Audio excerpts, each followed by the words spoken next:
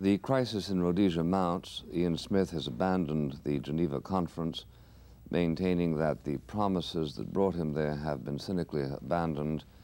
Terrorist activity increases. Surrounding savages have taken to killing nuns in the name of majority rule now. The role of Great Britain is disputed not only outside this country but in it. Two prominent spokesmen of different positions on the Rhodesian issue, both members of Parliament, are here. Miss Joan Lestor, member for Eton and Slough since 1966, is a member of the Labour Party National Executive Committee and has been since 1968. She is vice chairman of the party. Miss Lestor is a schoolteacher by profession and chairs Labour's Working Party of Education and Committee on Race Relations. She has served as junior minister in Foreign and Commonwealth Office. Julian Amery was educated at Eton and Balliol College, Oxford, where he was president of the University Conservative Association.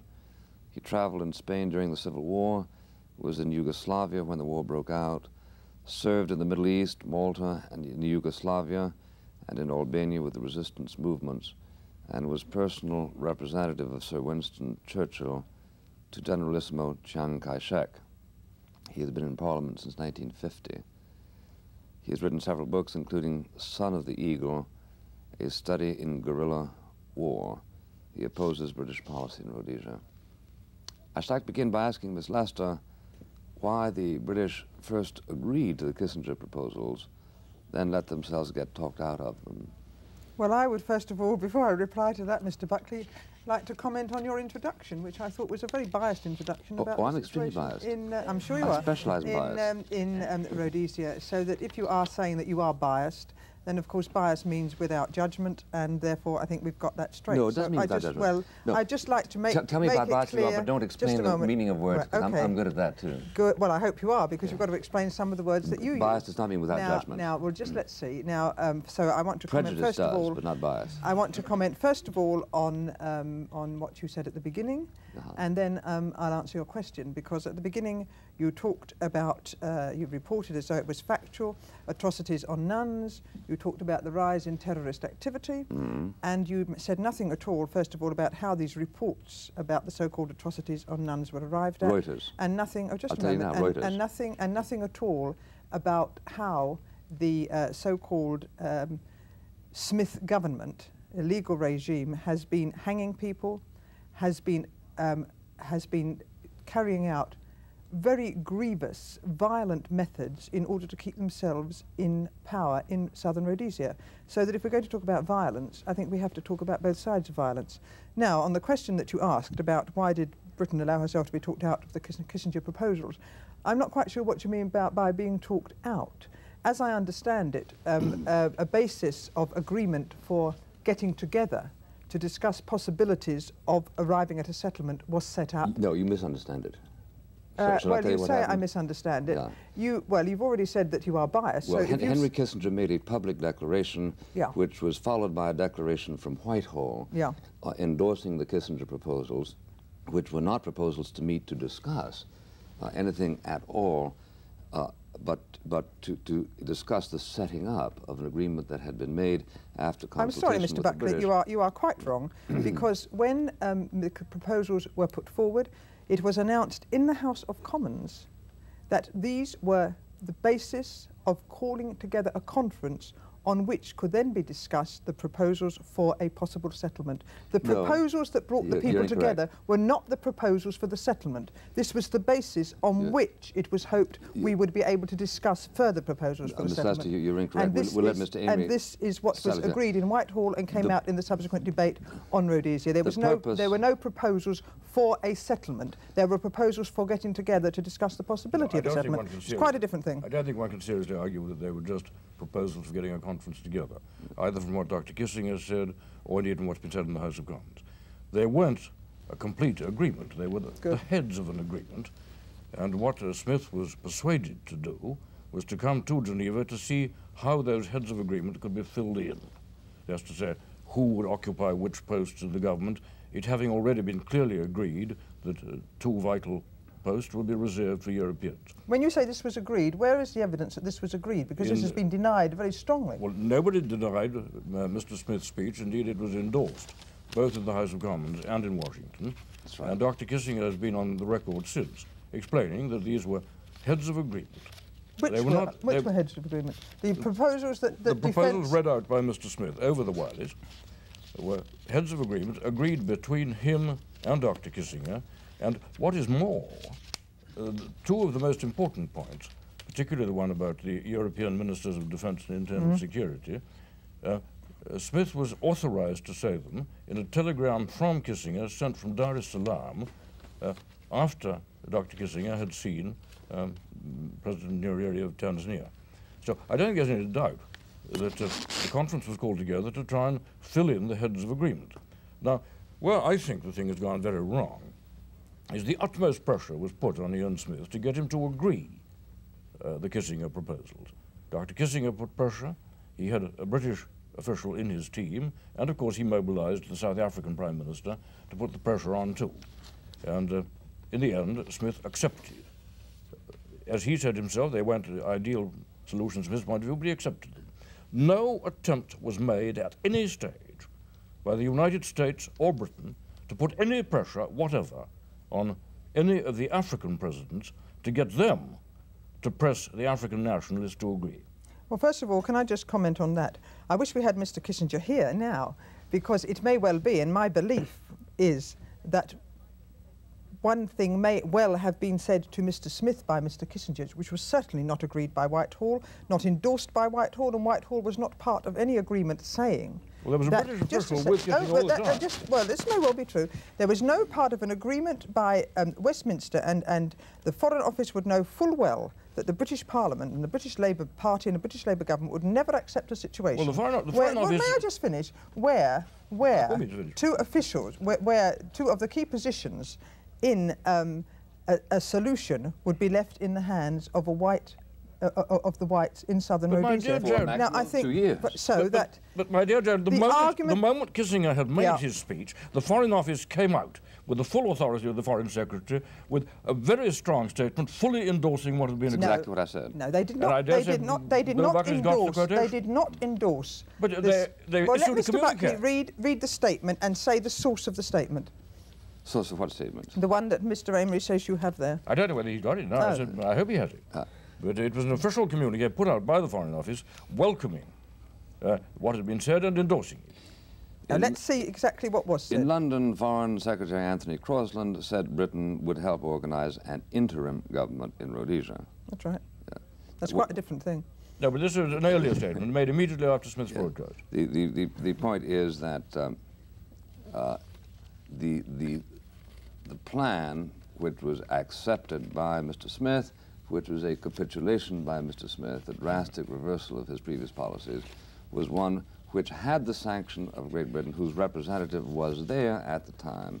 Well, just a moment. Mr. Amery said, Mr. Amery said there was a statement by the British government which endorsed the giving of two key positions in an interim government that was part of the plan. to white Rhodesians. That was part of the plan. This was never endorsed by the British government. It was certainly said, and I, I, I know this was said, by Kissinger, and it was said by Mr. Smith, and this has been the argument that has taken place. In fact, several of us at this time were arguing very strongly that this could not be the position of the British government, and I know of no statement in which they endorsed that.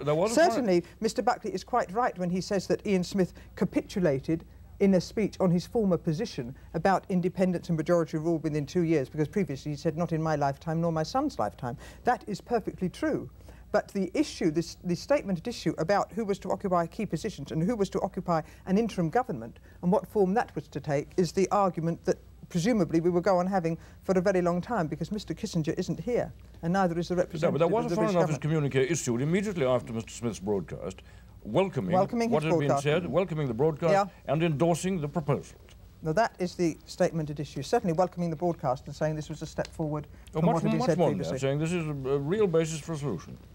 Well, basis for the discussion of a solution. I, I think that uh, we would find very few people who agree with your rather eccentric position here. Uh, yes, well, you know, we can uh, throw words like eccentricity and, around and it is, all over it, the place. It, it doesn't help rather, very much, It is rather it? odd that uh, Whitehall has never uh, has, has never come out and said that Mr. Kissinger was incorrect mm. in saying that he spoke on that particular uh, uh, issue uh, for himself and for the representative who was sitting at his side while he mm, uttered those mm, words in mm. Salisbury. However, the fact remains that um, uh, it may be appropriate to touch on the other points that you raised a moment ago. You say that um, the the nun killing is is what justified as far as you're concerned. I didn't say it was justified. Because uh, Ian Smith has been hanging Is that what I terrorists. said? I didn't use the word justified. What I said, Mr. Buckley, was that what is interesting me is that people like you, who talk about violence, who talk about atrocities, who talk about murder by people in southern Rhodesia, always are very one-sided about this, even if the nun story is true or false, and that we can come to later, are always very one-sided about this. Throughout the UDI years, Ian Smith has backed his government by force. He has hanged people, he has committed atrocities against people, and that is violence, and it is a system based on violence and backed by force. Therefore, when you, I mean, no, just you, a moment, he has hanged people regularly. He has he has hanged people as an illegal regime when he does not have the. Come just on. a second. Oh no, come on. Well, you why, asked why me it when. an illegal well, regime? then why is it? Why is it? Why is it an illegal well, regime? If it isn't an illegal regime, what the hell are we all arguing about? If it's a legal regime, there's no argument. Then he's in Well, control, and there doesn't have to be a settlement. Everybody accepts, It's- it's an including in- Mr. it's an Amery, it's an that it is interesting an illegal regime, No, and no, he does not. And the Queen would not have sent a telegram at the time of the first hangings asking him not to hang people, saying he had no authority to hang people if it were not an illegal regime. And the Crown was used to try the- and stop him doing Well, this. it's a very... The- the- So he has committed, he has The- hanged the people fact that the when he British- has now, wait a minute. no legal the fact right that the British so. called it an illegal regime out of a fit of pique be, because, because they exercise their powers of independence, which you have defended in all other instances, notwithstanding that for 35 years they had in fact been autonomous, uh, is a matter of a specifically English concern. As an ally of Great Britain, my, my government went along when, uh, when the Labour government asked for sanctions. In point of fact, the rep representative of the opposition, Lord Home, on this same program said that if his government had been in power, they would not have requested sanctions because they don't believe in the use of sanctions and they believe it is an eccentric use of sanctions. can't all, of a sudden, Lord Home all of a sudden to up to him. employ them against Rhodesia, not against, say, Amin. Amin is the legal Well, regime see, and Ian Smith fine, is the illegal just- regime, right? Just let's But you keep, might well I said to you me- let me get earlier away that it was an illegal regime, and I stick to the fact that it is an illegal regime. Were it not illegal, might well there would be there would be no need to try and negotiate a settlement, as every government, including the Conservative government, has tried to do. Well, the but you Soviet might as well say, if you say that Ian Smith, because it's an, he's an illegal regime, Uh, can't hang terrorists, you might as well say that fellow Washington, who did that UDI in 1776, that he had no right to exercise Well, I'll tell you what I capital do punishment. think. I don't think anybody's got the right to hang anybody because I don't believe in capital punishment. If Well, that's really- another question. Uh, but when they don't drag that's something else in. question. What That's a I am saying is when people argument, talk to may say me about terrorists and about violence, you can, th this is, there are two sides to violence, there are two sides to terrorism, just as there are in South Africa and everywhere else. And Well, if you therefore, can't Smith, distinguish between the hanging of Smith- terrorists How do you the- know and they're terrorists? And eating what's a of nuns. terrorist? What a terrorist? What is a terrorist? You tell me what a terrorist is. Well, well, I'll tell you if, if you Hmm? stop asking me the question long enough for me to do so. A, terrorist, a terrorist is somebody who, through the exercise of indiscriminate violence, attempts to gain political goals. And this, this, is, uh, this is the path that has been taken by those brave young 22-year-old black men who walk in and, uh, and start Hmm. slaughtering defenseless nuns and priests. This is something that causes you to smile. Mm, no, you know, no. Your, your interpretation of it causes me to smile, because you see, um, if you are in a situation as you are in southern Rhodesia, or all, but we are still all hoping that you can get a solution which will avoid any further violence. But if you are in a situation as you are there, and as you are in South Africa, where certain people And the Soviet are Union. denied. Well, I'll come to the Soviet Union in a moment. Or are Uganda, denied yeah. are denied economic, social, and political rights, and are denied the normal channels of democratic change, which I support 100%. Then, unless you allow them to have these normal channels of change, they will use violence because there is no other alternative. And that is why I call them liberation movements rather than terrorists. Now, well, it's if this country is sending people out there, if people are being recruited from this country as white mercenaries who are going out there to fight, as they are, and the British government has said we can't stop them, if they are going out there, then this brings another angle in also on the question of terrorism and liberation movements and violence. And so you have got a situation where you have uh, the ground all set for a violent confrontation because a group of people are in power and will not give way on that power for the majority of that people seems to to happen, it. though, in most of the African countries, isn't it? In Angola, there's a raging civil war, and there are a lot of Cuban mercenaries. We've got a civil war in Britain. In Mozambique, there's a, a civil war going on, and there are a lot of foreign advisors coming in. What's going on in Uganda, nobody can tell, but there seems to be a lot of Libyans and Palestinians have come in to shore up Idi Amin. That doesn't make it right. They I don't- don't, I'm not saying no. it's making it right. All Good. I'm saying is it, that it really is a little bit biased, if I may use your word, to pinpoint uh, Rhodesia and South Africa as if they were denying all normal channels. But I understood In this was there's a good- program about that. There's a mean- good deal more. There's a good deal more what you might call democratic rights in Rhodesia than there are in most of the African countries uh, around. The fact that they've got 25 black members of parliament is already quite an interesting fact in itself. That there's a fairly free African press. Again, this is not. Well, I would have thought if the majority of people in the country are black, I would have expected to see a few more black people in the parliament. Why would you assume that people would vote on the basis of colour? Oh, I don't assume they would vote on the basis of colour at all. did. Oh, no, I didn't. Do listen to what I said, Mr. Buckley. You said I you, would have you assume the majority of the people are black and therefore 50 members I would is, have thought that if the majority of people are black in a country, if the majority of people are black, I would expect a sign of majority rule and democratic rights. The majority of to be- Americans are, are Do you- women, but there's, only, there's Yeah, none in the yeah, United States uh, Senate. certainly. Well, let Very me come- democratic country, though. Do you ever let anybody say anything? I- Yeah, I- I I, wouldn't. I- I, would even take you up on that. But well, I let's deal if with I what I stopped- was if- saying. I think if I stopped watch the conversation so far, you would have had at least yeah. 50%. Well, maybe you're not used to that. If I could just come to what I was saying, if the majority of people in a country are black, Yeah. and you have a minority in the government who are black, and you know that large numbers of the people in that country are not eligible to vote for people, that would tell me a great deal about the way in which so-called democracy is exercised. I do believe mm. that Well- when the majority of people in a country, as in Kenya, are of one colour, one would expect to see this expressed in the parliament, not because people vote on the basis of colour, not because all let- they let- let should, me- let me but certainly on the- because this would to some extent reflect the country. On the question of women, I'd like to take you up on that any time. I'm sure of great In- in- in libertarian on just, that too. Just a moment, we can turn to that or anything else you like. But s- Well, I, I think, I I think that we ought at least to present the Rhodesian Mm. position here, since it did not differ from the position that was fashionable uh, in England 300 years Yeah. after Shakespeare died. Therefore, some point in the evolution of civilized order beyond that which has been reached uh, in a country that is still 90% illiterate, namely the provision that when the black population of Rhodesia pays 24% of the income tax, they would be total representation. This is not very different from the poll taxes and the property mm-hmm. taxes that you mm-hmm. had you defend uh, at, at a time. Oh, I think it's, I think it's, I think it's certainly defensible. There's no question about it. They now pay 1%. Is although- although they indefensible are- or defensible? Defensible. They, they are nine. Mm. I'm not saying that I would vote for it. I'm saying it's defensible. Mm. Ni- 95% defend of the people of Rhodesia now pay 1% of the tax. Mm.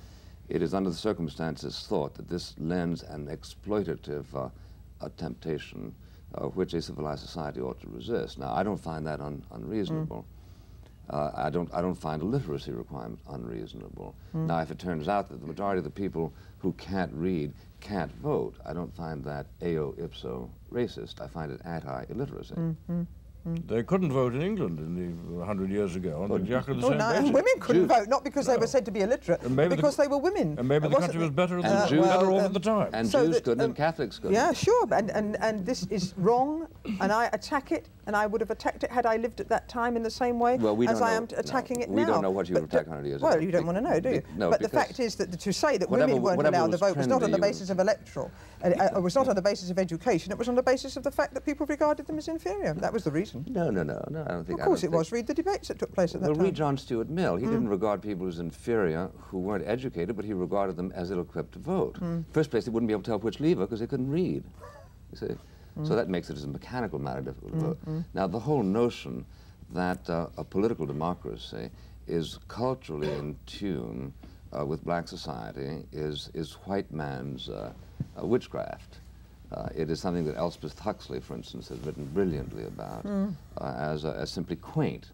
The notion that you should actually vote and whoever has most white pebbles should exercise political power uh, is simply something that is alien to the traditions of a great many people on this earth. This is not a racist statement, it's a cultural statement. Margaret Mead would make it uh, Would she? without any Mm. sense I know Margaret. Mead very well. I doubt if she would, but never mind. We'll ask her, shall we?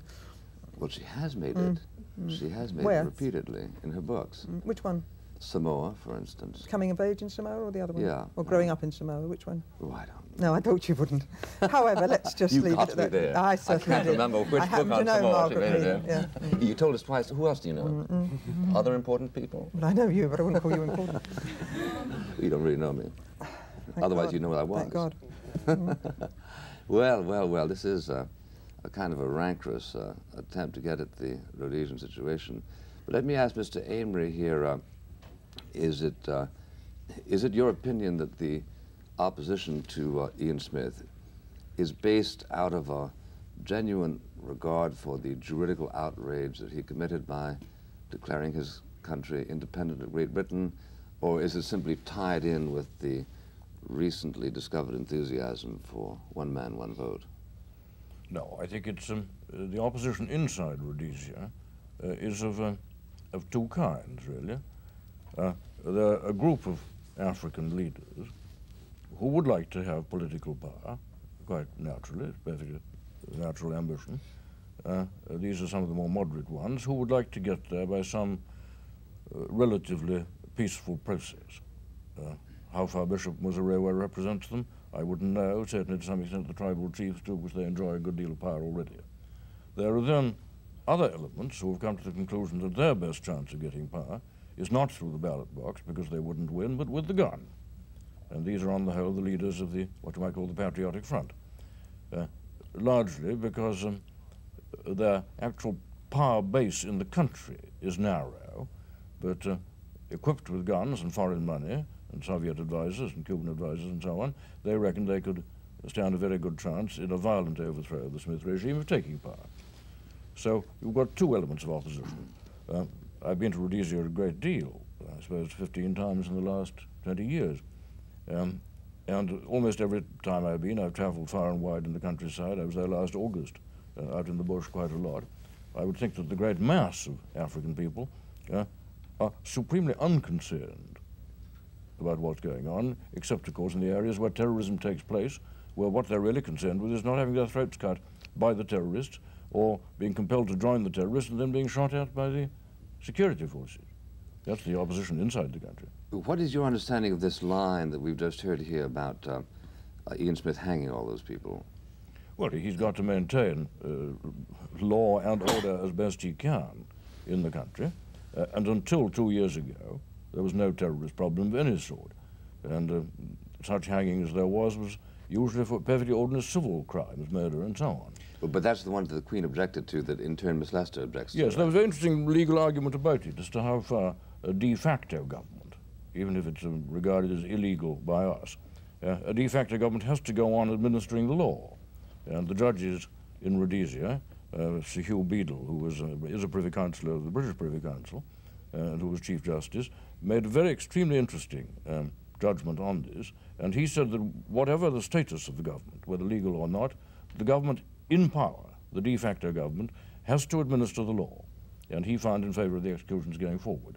And certainly I've discussed it with a lot of uh, legal luminaries over here, and uh, they think that the, the view taken uh, by the British government of the day was a political rather than a juridical one. Well, obviously, the, the Queen didn't wake up one morning and say, "I've got to keep this uh, rapist murderer from swinging." No, no. It, it was it was um, the Labour. Uh, The Labour Prime, Minister, advised her to send the message. Yeah. Mm. Which, which, as you say, was a political, A political gesture. maneuver. Yes. Correct, Miss Lestor? Uh, not quite correct. As Mr. Amery has said, the um, law officers in this country and people in the judiciary in this country were divided about the legality of what Smith was doing. There was division. The view of the British law officers and the British government was that this was illegal, that he had no right to do this, and furthermore, that rather than ease the problem, it would accelerate the problem. And whether the Queen woke up one morning or not is really beside the point. The Queen was used and was willing to be used to try and prevent people being Well, hanged you in created a this way. constitutional crisis if she hadn't been willing to be used. Oh, certainly, But, but, if, one, but if one says um, uh, that uh, the, such an action is illegal, it would really follow from it that if the traffic cops in Salisbury arrest you for speeding, that that's illegal too. They say that any action taken by the illegal government is in itself illegal. That, Uh, that, is, that is correct. I mean, That is one, one can take that view, but uh, there is a very Well, strong body of legal... To say one cannot take that view doesn't mean that Miss Lestor won't take it, right? No, no. But there's a very strong body of opinion that holds that the, the de facto authority in any I don't really think there's much point in being on a programme like this, you know.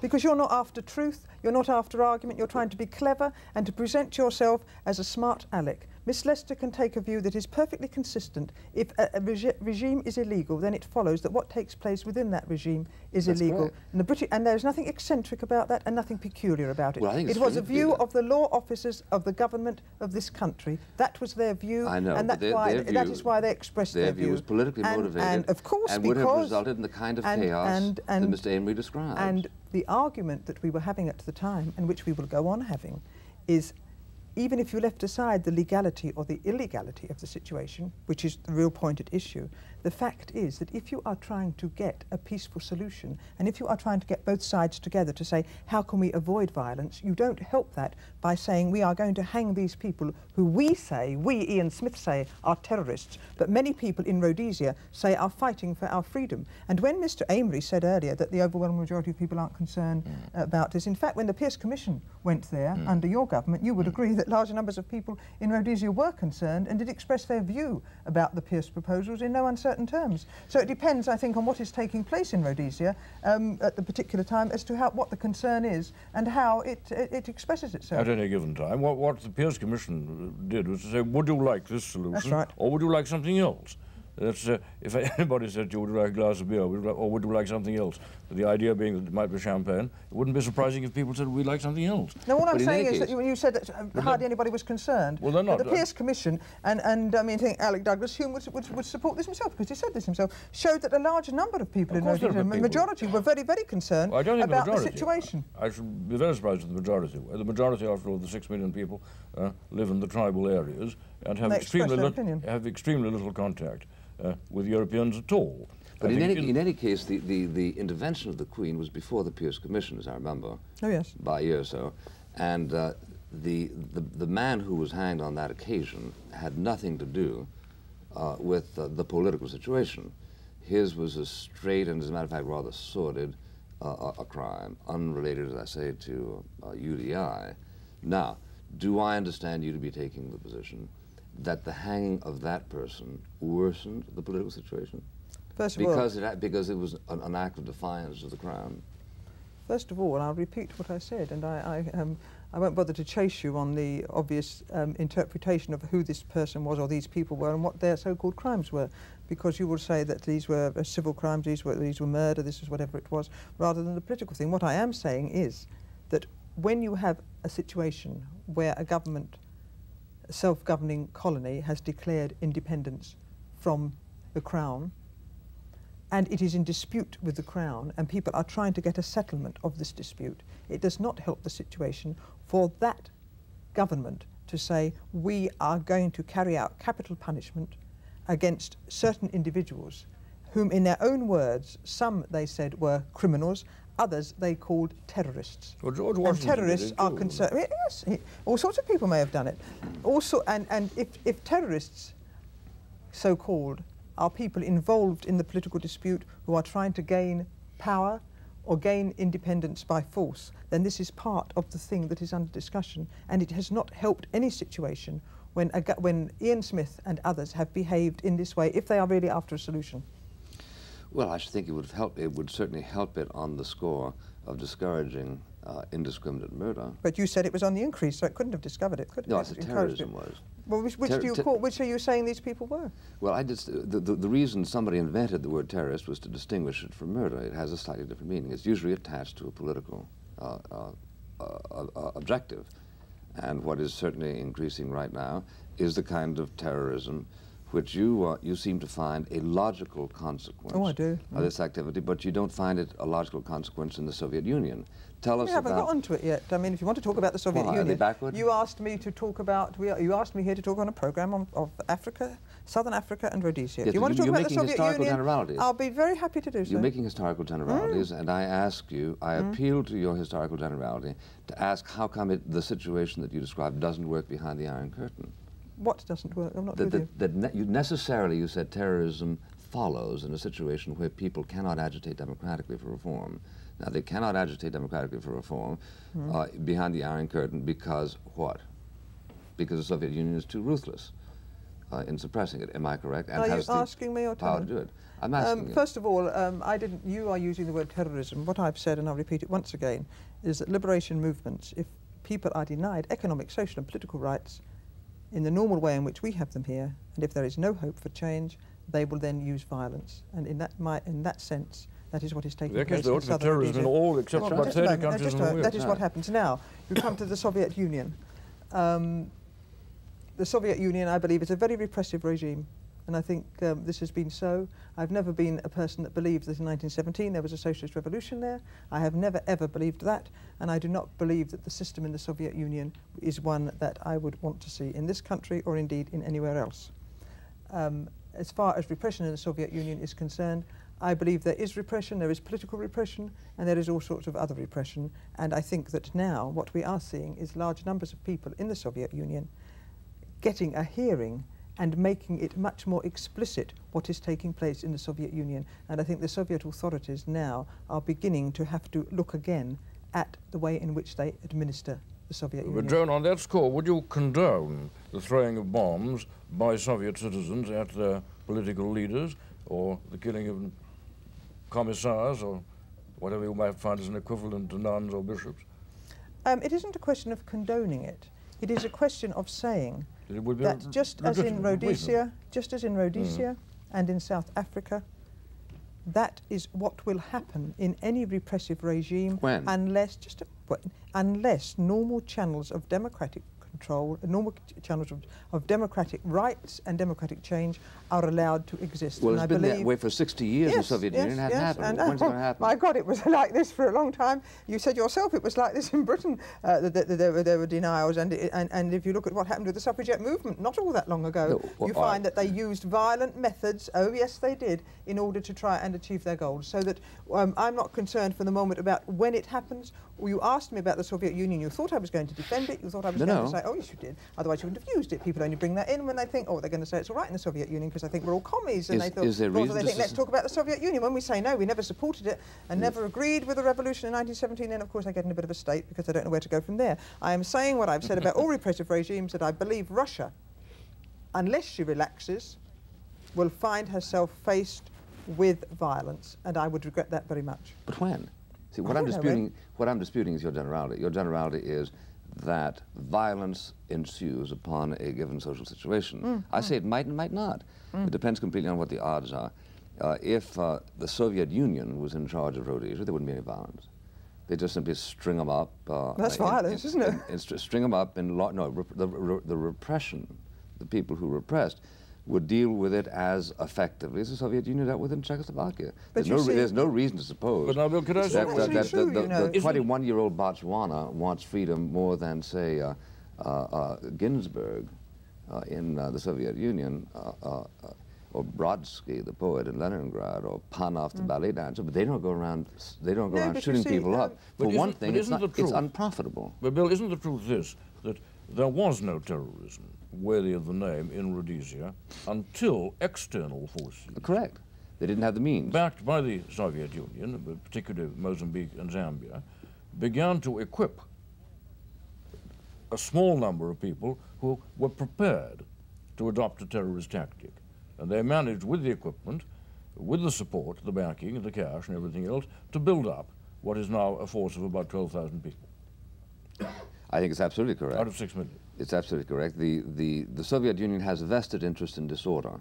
And uh, to the extent that they can persuade innocent people that the disorder that they are stimulating uh, is done in behalf uh, of uh, Western idealisms, they are bound to get a certain mm. following. Do you think it's the Soviet Union that is causing the uh, activity absolutely. against Ian Smith in uh, southern Rhodesia? I see. I think it is substantially there because I think otherwise the people of uh, Rhodesia would probably behave the way the people in England did, mm. uh, making a certain amount of progress, but not expecting the kind of progress that all of a sudden says, ha, we're free, Colonel Amin is in power. Certainly all the guns and the bombs and the training, or the greater part of it, has come from the Soviet Union or from allies of the Soviet mm. Union. Mm. And without that help, uh, the terrorist movement wouldn't have got off the ground. Uh, is, has there been uh, uh, any act by the government, Mr. Amery of Great Britain, deploring the subsidy by the Soviet Union of the activities of the terrorists? there have been phrases used that the government is against terrorism, would like to see no terrorism, would like to see uh, the lowest possible level of terrorism while negotiations went on. There hasn't been the sort of outright condemnation that I would like to have seen. Do you think your government would have would have come through with oh, such a condemnation? I'm sure we would have. I'm when you say there hasn't been the outright condemnation, could you just say what the British government has said about outside interference in um, southern Rhodesia? Well, they've admitted that there is large-scale outside in intervention. They have admitted that there are camps where the terrorists are mm. trained uh, in Mozambique and indeed in Tanzania. What have they said about it? They've agreed. Well? I can't quote the answer. Have they have they supported it, or have they said?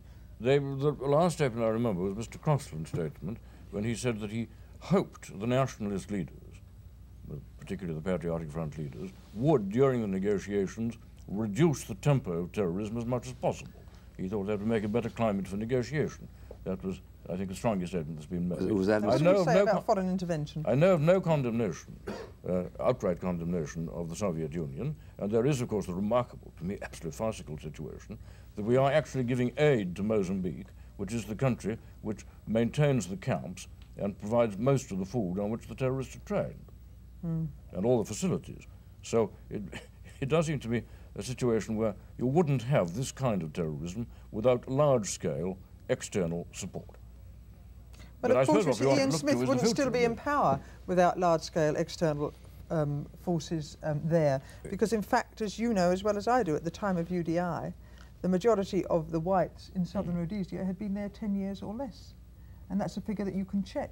At the time mm. of UDI, they were pretty well recent immigrants to southern Rhodesia, many of them, of course, from Britain so mm. that um, it was external forces that have kept Smith in control um, in southern Rhodesia, just as many mercenaries now from this country go to southern Rhodesia and are mm. paid uh, by external forces. I don't think you would so say that, that the, well, the, arrival of settlers so in, that, uh, in, Rhodesia well, was, uh, after all, it was a, a white-dominated government sanctioned by the British government, Indeed, British people have been encouraged to go and settle there by successive governments. The That's that they're external forces. I mean, where do you draw the line? Well, uh, I, I, deplore, I deplore, I deplore any arms going to um, countries if they. I mean, I'm opposed to the arms race anyway, but that's another argument. But I am opposed to external forces getting involved in internal disputes in other countries. But you use it so one-sidedly because it was the white immigrant in southern Rhodesia at the time of UDI that kept Smith in power. And one of the things that is worrying Smith at the moment is that many people are leaving southern Rhodesia um, and, and, are getting no, out because all, they don't like the situation. Saying, so they're external forces No, but too. always, always saying, Joe, we started the argument on a perfectly simple basis. Uh, you were saying that if you don't have the full panoply of democratic rights, you get terrorism. Uh, all I was saying is you wouldn't have got the terrorism without external support. Uh, that Who, even yes, both active and inactive. Yeah. After all, the United States is an external power, and we've had an embargo since 1968 on yeah. all traffic, with the exception of chrome, after the Byrd Amendment in 1971. And the most remarkable thing to me, actually, if you look at the situation in Rhodesia, is that in spite of getting sanctions imposed on him certainly by Britain, largely by America, and by a great many other countries, mm. and no support from anybody except South Africa, no active support, uh, the Smith regime has managed to maintain what was an almost totally peaceful situation until two years ago. I mean, uh, I mean, I don't see the, the connection of that. The, the well, it, means um, that, it means that the people weren't all that discontented.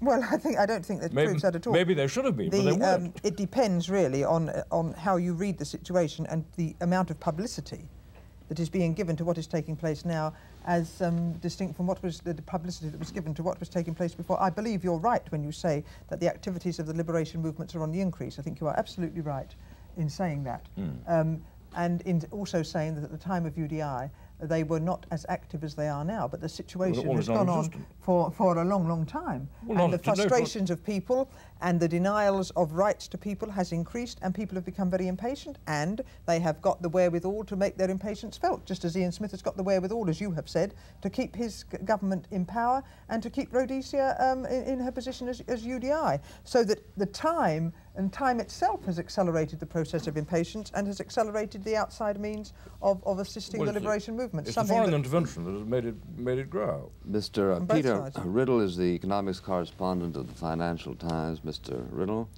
I think what concerns me is that after the Kissinger initiative, and however whatever emphasis one places on various parts of the, of the initiative and however firm it was, you can't go back to before the situation no. last September. And I think it's absolutely no. crucial that Mr. Smith did say things then, however right. much he may be saying now, and that does alter the whole position in respect of moving to a settlement. And I think we've got to take that into account, you know, however you define the details of who endorsed what and didn't. And I think that is why the Ivor Richard activities have got to be followed up. I think some of us in the United Kingdom slightly worried about quite how your new ambassador to the UN, uh, Andrew Young, is going about it. I mean, what direction is he going in? Because we believe that should be followed up. The British power to do it is fairly limited, and we, we've Ivor Richard was extremely energetic in, in, going around trying to get a settlement. But clearly, pressure has got to be applied from other sources. I mean, what, what, I think we're concerned in what direction the US will apply pressure. Uh, and uh, your question is where, in which direction? Well, yes, indeed, in which direction the US? Because I mean, clearly, I mean, my, my point being that I mean, after the, the Kissinger initiative, things will never be the same again. Right. And that, that has brought the US in irrevocably, mm -hmm. and therefore it is up to the US to do mm -hmm. quite a lot, because there is a limit to what Britain can do. Well, um, uh, do, do I understand that the, uh, in, in, your opinion, uh, Great Britain would welcome the United States uh, applying, let's say, pressure on the frontline states to bring them back to the point of accepting that which had previously been accepted as between Smith and uh, Kissinger and Whitehall? No, that's looking at purely one side. I think one's got to look at both sides. One's got to look at uh, US pressure, which undoubtedly existed in September, on mm. uh, South Africa, and that a new initiative needs to be taken there as well. And uh, such an initiative would do what? Well, such an initiative would be diplomatic or also economic. Uh. I think initially diplomatic, but it might have to be followed up at some stage by economic pressure, because mm -hmm. um, it is it is absurd to assume that we have now a stable position. Um, uh, Mr. Smith may be able to, for the time being, control the terrorism, but now we are in a very much more unstable position than we have been for all the time of UDI. I think we can regard that. Therefore, if we are to avoid a bloodbath, a pretty quick initiative's mm. got to be taken, and it's got to be taken with the uh, South African government, and the US is in much the best position to do that. It's got to be taken, surely, hasn't it, not only with the South African government, but with the, uh, the frontline president? Oh, both sides. But uh, what is really, I, wouldn't you agree that the real issue is this? From the point of view of the West, looking at it from the broad Western interest rather than the local issue itself, is um, in which camp in the alas, increasingly Cold War in which we live, Cold War climate we live, is Southern Africa going to be? Uh, our objective must be, presumably, to keep the Soviet influence out. It's already established in Mozambique and in Angola. We don't want to see it spread. The question is, what is the best political solution to prevent it spreading? And clearly, the establishment of a moderate government, African-led government on the lines of the Kissinger proposals, uh, would suit the Western bloc very well. And uh, dare, I dare say over the years something similar might be devised for South Africa. But I would think the only hope of getting it is if the West, that's to say America and Europe, were to make it quite firm that they would protect any such new establishment against Soviet-backed incursions from outside. I would say the first priority was to ensure that human rights were given to the people of all the people of Rhodesia. But I mean, whilst mm. at the same time one hopes fulfilling your criterion.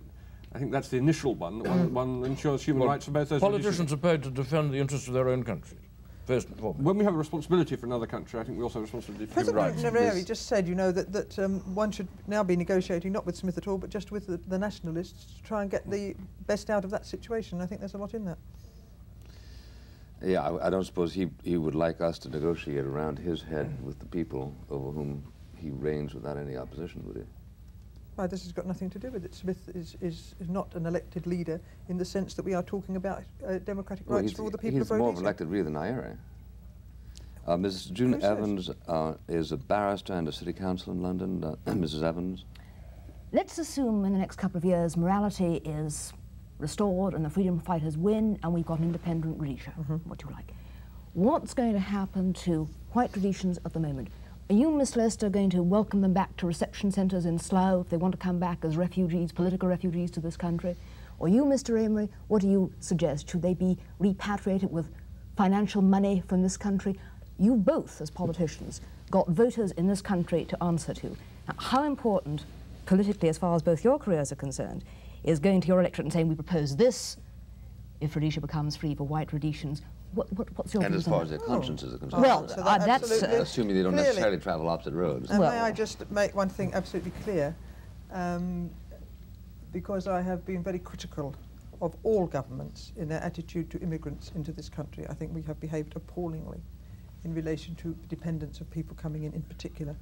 Um, I hope that if what you say takes place in, in um, southern Rhodesia, many white people, as they did in Kenya, will stay there and will make their homes there because many of them have lived there for many years and uh, would like to continue to live there. And for the ones who don't, moment. And, but if they don't, and if they are people that left Britain, then of course they should be able to come back to Britain. There's no, there's no question about that. If that's what they want to do, then they, they uh, must be able to come back to Britain. I doubt very much if they would come to Slough because we have a large number of coloured immigrants in Slough, and most of the people in uh, southern Rhodesia would, of course, want to go to a situ- place like Dorset or somewhere where they could pretend they were still in a white-dominated society. And Mr. Amery? No, it was indeed an integral part of the Kissinger proposals that if they, those whites who felt they had to leave uh, should be looked after, that a fund would be set up to enable them to be resettled uh, where they wish to go. Um, certainly they'd be welcome here, as far as I'm concerned, but uh, some of them might want to go to Australia or to other countries of that sort. Do you think this country should finance that sort of movement? We certainly ought to contribute to it, yes. Oh, yes, and no doubt, after all, if we claim a responsibility at all, we certainly have a great responsibility for people we encouraged over the years to go and settle in southern, southern Rhodesia. Do you think that carrot's worth holding out even more to white Rhodesians at the moment? Well, in the I- hopes of a settlement, a global settlement? Well, I wouldn't hold it out uh, with great publicity because I want to see as many Europeans stay as possible. And I don't myself think do I. Why? that you can have a, a moderate or democratic government in the real sense of parliamentary democracy in Rhodesia unless there's a very large European infrastructure in both industry, Do you think black farming and the police and the army. Do you think black Rhodesians want that? Do you start on your people who help you in the good Marxist tradition? Well, you see, there is Eat up your good and leave your bad to be dealt with at the end? No, but there is this great problem. Uh, Mr. Riddell said just now that um, we ought to think first of all of the interest of the people on the spot. And of course we have all been committed, successive governments, to majority rule. Well now, uh, the f- frontline presidents have said that only the Patriotic Front ought to represent and speak for Rhodesia. And yet all the indications we can get are that the Patriotic Front in no sense, in no way, represent the majority. That the majority is probably represented in the towns by Bishop Muzorewa and in the countryside very largely by the traditional chiefs. And it seems quite clear, it became quite clear at Geneva, that Mr. Nkomo and Mr. Mugabe don't really want to have an elective process unless they themselves are in a position to run and control the election. So even from the point of view of the interest of the local inhabitants alone, leaving aside the bigger global picture I was talking about, it seems to me we're turning our backs on the moral principle on which we stood of majority rule. And in fact, if one tries to find a principle behind British and American policy today, I think I know what it is. It is avoid a confrontation with the Soviet Union at any price. Abandon your principles, sacrifice your interests, anything to avoid a confrontation with the Soviets in southern Africa. And indeed, Mr. Andy Young, Ambassador Andy Young, virtually said that yesterday when he said that, uh, in his view, American combat troops ought never to go to southern Africa because it might embroil them with the Soviet Union. So principles don't run that far. Yeah. Mr. Roger Evans is uh, also a barrister in London, Mr. Evans. It seems to me that the only way in which there will be a settlement in Rhodesia is if Ian Smith realizes he cannot go on indefinitely. And the situation we've now reached, Which he's done. he has very successfully so far, but the state of the guerrilla war, Yeah, however he- it's, ar- it's arisen now, He's recognized that he can't go on indefinitely, which situation- is the reason for the September capitulation. That's right. Now, the only basis on which we're going to exploit that to get a peace settlement, the white southern Rhodesians have been so vilified so unfairly by people like Joan Lestor that there's an almighty breach of trust, quite understandably, between the right Rhodesians and the British government and to some extent the American government. And I'm afraid Mr. Andy Young's recent behaviour has only made that very, very much worse. Now, the only way in which you're going to convince southern white Rhodesians that the future isn't going to be a massacre or some hopeful integrated state, which, with the experience of Africa and particularly Uganda, that looks like cloud cuckoo land. We hope and pray it isn't. The only way in which we're going to convince white Rhodesians of their future is to say in certain terms, you will be compensated in the event of your having to leave White Rhodesia. Now, I have never seen Harold Wilson and I've never seen Jim Callaghan over the last 10 years ever make any of that kind of promise. And I want to know why from Miss Lestor she's prepared to expose various of her fellow countrymen to the risk of being butchered in Rhodesia, and then at the same time be surprised that they've tried to defend themselves as long as they have done. Right. Well, let's deal with the first uh, part first. Um, if you saw some of the letters that I have received from whites in Rhodesia, you would take back what you have just said.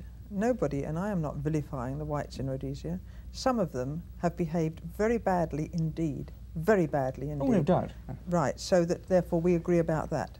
Some of them, like many of the whites in Kenya, are anxious to stay on, want to stay on, and have said this, and do not fear that they are going to be butchered by anybody. And at the time, if you remember of the Kenya um, independence, at the time of Mau Mau, the arguments about the butchering of the whites if they stay is going oh, to take but they've place. been squeezed out gradually. Oh, but, but, I was there in the summer, you know, staying with a lot of European friends, and they have every intention of staying on and want to stay on. So that you know, this this squeezing people out and butchering them are two different arguments. We could talk about that later.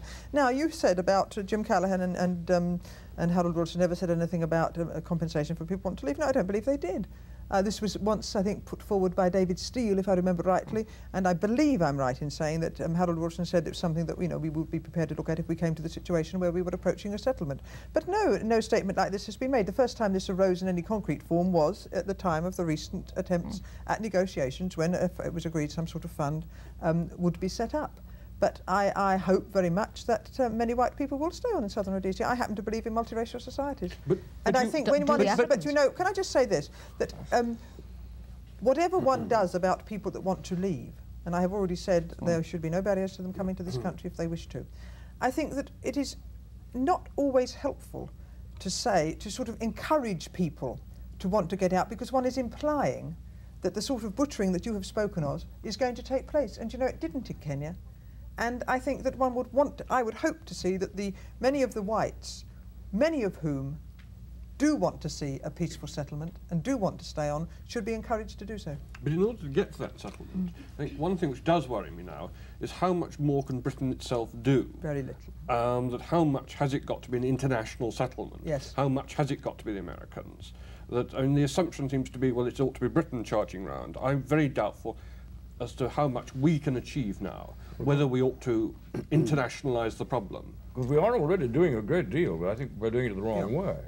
That by maintaining the sanctions and trying to get them tightened, and by giving aid to Mozambique, we are in fact the accomplices of the terrorists. We are actually backing the terrorists, and therefore uh, some of the blood from these bishops and nuns and so on is on our hands. When you say an international um, effort, do you mean, you don't mean United Nations, you mean by a, a, large number of nations getting together? Absolutely. Yeah, I think this is right. And I think it's the only way we can break out of the present uh, impasse um, and get towards the settlement. It's got to be an international initiative. Britain, for various reasons, uh, the mistrust that Roger was talking about with, with certain of the white Rhodesians, certain of the points that uh, Mr. Amery is referring to, is in a difficult position mm. now and uh, our connections have become ever more tenuous over the last um, 12 years. Therefore, it's got to be internationalised. That's our only hope of breaking out of it. It's also going to come soon, otherwise the threats Julian Amery is talking about will, will come to pass. Well, would, would, you, uh, would your government, Ms Lestor, uh, uh, endorse the levying of economic sanctions against the frontline states to the extent that they continue to subsidize terrorist activity and take away a leadership of the independence movement, which, as uh, Julian Amery suggests, uh, is more suitably led by Bishop Muzorewa and the tribal chiefs? Well, you see, I don't know whether Bishop Muzorewa has got the support of the majority of um, the Africans in southern Rhodesia. I don't know. Um, he certainly made a very big attempt to build bridges between the various um, movements in um, southern Rhodesia.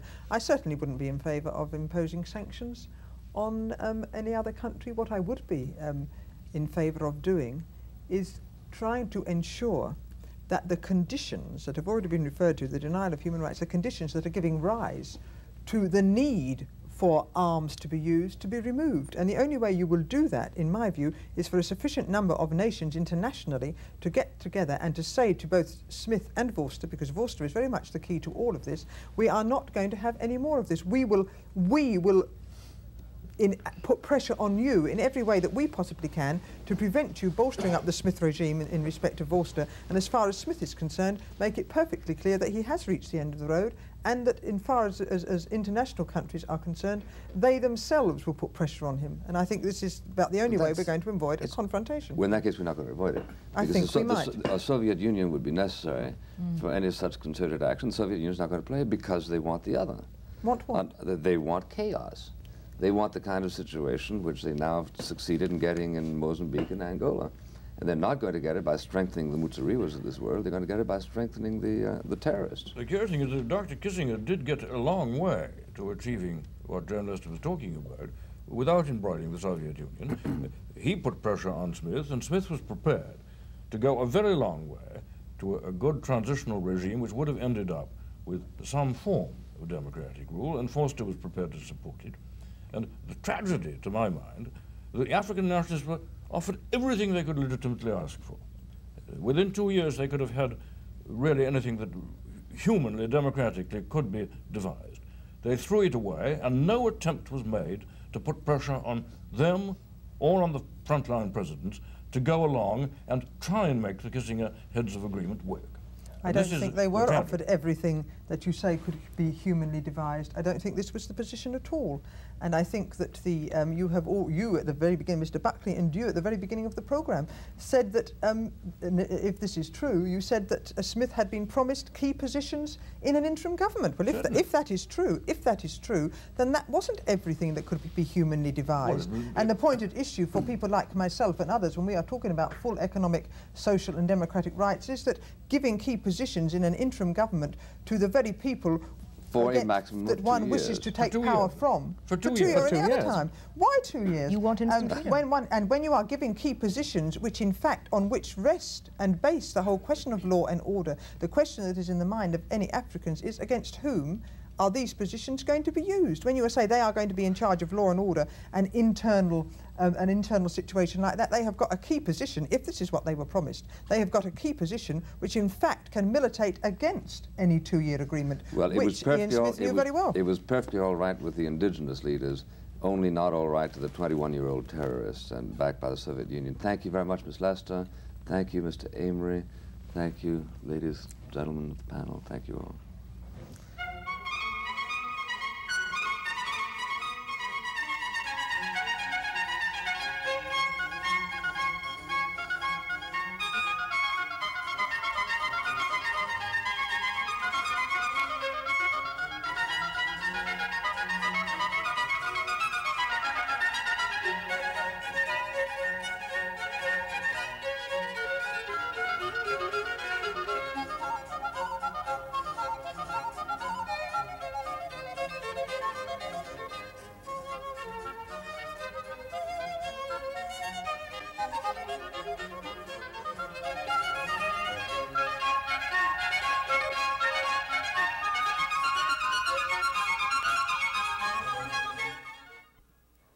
Printed, bound transcript of this program, send $1 to Firing Line, Post Office Box 5966, Columbia, South Carolina, 29250. That's Firing Line, Post Office Box 5966, Columbia, South Carolina, 29250. This program was produced by SECA, which is solely responsible for its content and was funded in part by public television stations.